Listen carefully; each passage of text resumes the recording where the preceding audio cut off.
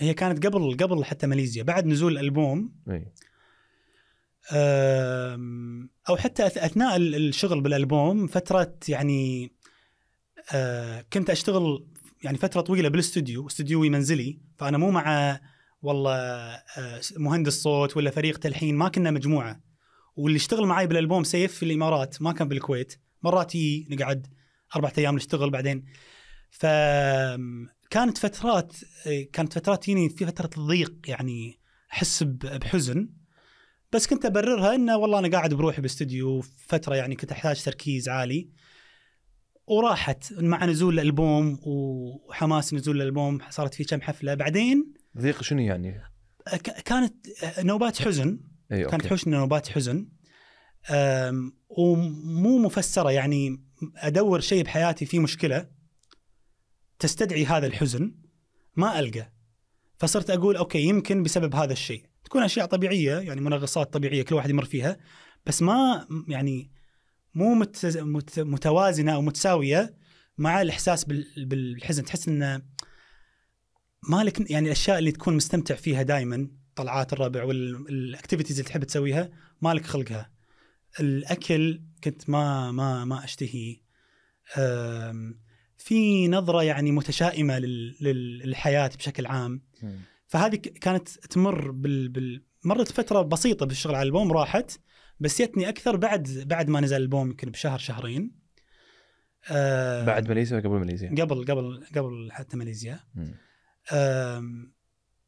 و- وما كنت ما كنت مستوعبها ولا ولا كان خاطر ببالي إنه تكون والله مثلا اكتئاب أو مرض نفسي. أم، وصدفة كنت أشوف بال بال بالإنستغرام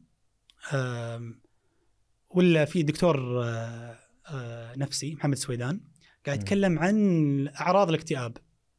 فقاعد يقول إنه في خمس ما أدري سبع أعراض قاعد يتكلم عنها وقاعد أقول أوف هذا نفس الأعراض مالتي الاضطراب في النوم ال ال ال الأكل مو مشتهي الأنشطة اللي تسوي.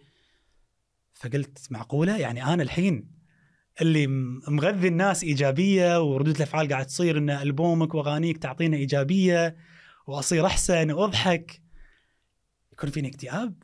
يعني كانت غريبة بس قلت أوكي يعني يعني خلينا نشوف يمكن يعني إذا في حل يعني خلني أشوف يعني يمكن يكون هذا يكون هذا ال- هذا الطريق الأسهل لمعالجة هذا الموضوع. وفعلا راجعت آه، آه، طبيب نفسي ومن اللقاء الأول قال يعني اي في فيك depression اكتئاب وفي طرق علاجية وفي وخذيت ال- الطريق ال- ال- العلاجي وايد وايد تحسنت.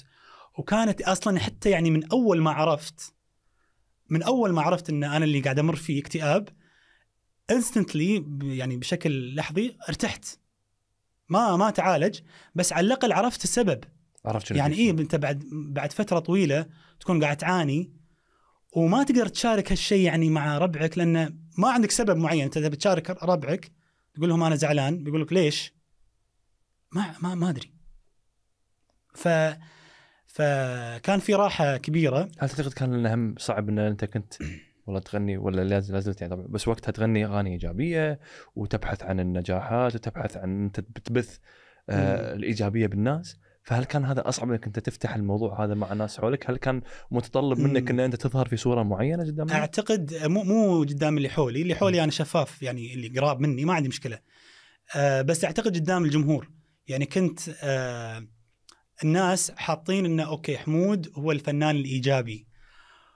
بس الآن صرت أنظر لها منظور مختلف ويمكن هذا السبب اللي اللي أتكلمت آه أتكلم آه يمكن أول مرة بهالموضوع إن لأن الناس تشوف إن إن هذا الشخص إيجابي واحيانا توصلني بعض الرسائل انه شلون أنت دائما يعني مبتسم الناس قاعد تشوف الصورة المفلترة منك تشوف النسخة ال- من خلال أغانيك من خلال فيديو كليباتك من خلال ظهورك في ال social media اللي هو بالطبيعي بيكون أفضل لحظات حياتك يعني أي أي واحد فينا يعني صح. مشهور ولا غير مشهور صح. هو راح يعني يحط ال highlights مالت حياته ف ف إي صرت يعني أشعر بالمسؤولية أكثر انه لا خلينا نكسر هذه ال- ال- الصورة إن ما حد